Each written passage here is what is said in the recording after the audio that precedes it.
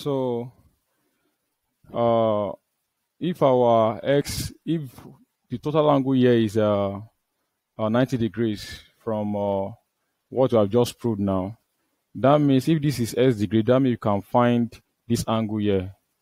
This angle here, you can find this small angle that is here, and that will be 90 minus minus x.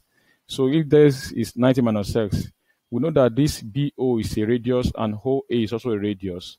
So that means this triangle here is an isosceles triangle, and base angle of an isosceles of, of an isosceles triangle are equal.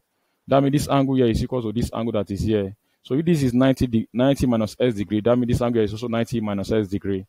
So to get this angle here is by adding this plus this angle here and remove it from 90, 180 degrees because sum of angle in a, in a triangle is, is 180 degrees.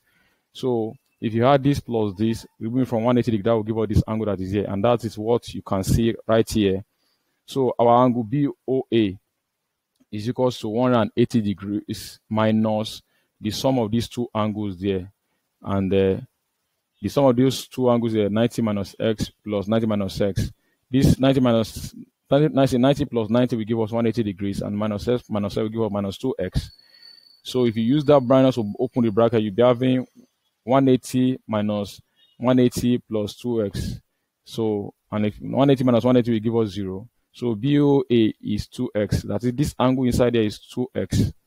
Then if you look at uh, this solution, this uh, question as is, giving you have to find x, giving this uh, angle to be 20 degrees. And if this angle is 20 degrees, you can see that uh, this from this line to the center here is radius. From here to here also is a radius. So that made this triangle, this small triangle, an isosceles triangle as well.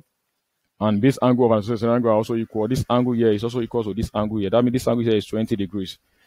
But from uh, what you have been able to prove that uh, if a radius is perpendicular to a tangent, that means this angle is 90 degrees.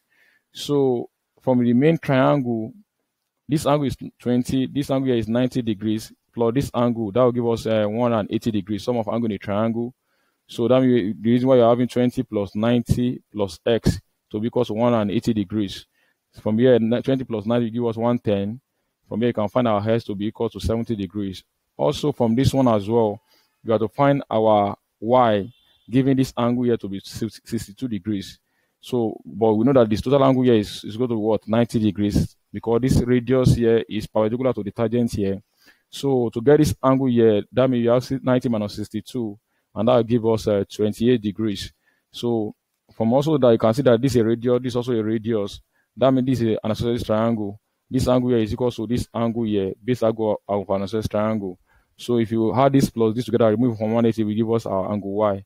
And that's what we are having here as 124 degrees. Also from here as well, this is a radius perpendicular to this tangent. That means angle is 90 degrees. So if that should be the case now, this triangle is going to be uh, a right angle triangle because this angle is 90 degrees. So our aim is to find our line hole A here, which you can use Pythagoras theorem to find, it's given this side and this side. So if you use your Pythagoras theorem, square of the hypotenuse size equals to the sum of the square of the remaining two sides. What you're having here. So from here you can find our A hole to be 12, 15 uh, centimeters. So that's the solution. You, uh, what we have been we have been able to use that theorem to solve all these questions. So in our next video, we're going to talk about the next theorem and I'm going to use it to solve problem as well.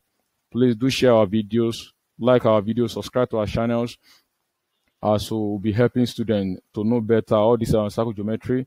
And another every every every all the theorem, we're going to be solving why question.